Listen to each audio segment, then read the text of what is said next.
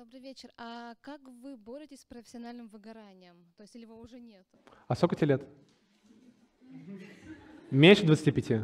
Меньше 30? Больше 30. Меньше 30. Ну, эм, эм, я типа в, в этом термине я живу раз в три дня, например, ну честно скажу. Мне вот очень нравится Евгений Черняк, знаете такого, который вот водку продает, и очень классный спикер, интересный мужик. Он говорит везде в Ютубе, что я никогда не сомневался.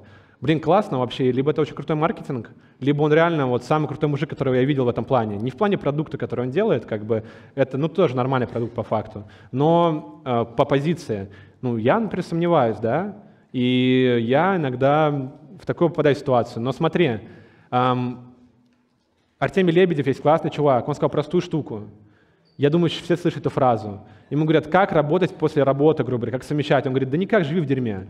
Вот я просто думаю об этом, я просто думаю о том, я как на своего отца смотрел, который просто пропивал все вообще. Пропивал, мать бил, короче, будучи человеком, который мо- мо- мог многое, но он считал, что он выгорает, он себя жалел. Это пуси бой, грубо говоря, как в рэпе говорят. Это типа просто, ну, маленькие яички, они у женщин также в характере. Если ты пошла в игру зарабатывание денег на любимом деле, это жестко, это не, ну, как бы, если ты творчество только без денег, нормально, ты можешь выгорать. Если ты хочешь зарабатывать на этом, ты не можешь выгорать. Представь, кем ты будешь через 10 лет. Представь, как на тебя посмотрят.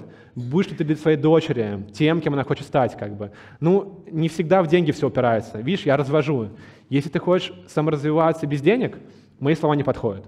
Это, там можно уходить немножко внутрь, выходить, это нормально, это, это совершенно нормально. Но если есть цель, я хочу любимым делом заработать, лучше жить, качественно, помочь там родным и так далее, ты не можешь выгорать. Когда выгораешь, просто скажи «да», я новый, это нормально, ну, не, не пизди себя внутри. Знаете, вот я раньше так делал, погнали, короче. Я, я не боюсь, я не боюсь, типа. Сейчас я делаю так, ну ладно, я боюсь, я ною, ок. Это вторая сторона медальки.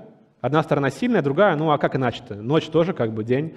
Все, Игорь, все хорошо, но дальше я не хочу вот так сидеть как бы. И начинаешь делать. Нет варианта просто. Либо останешься вот где-то есть, как бы, а тебе наверняка не нравится там. Спасибо. Да не за что. Все получится.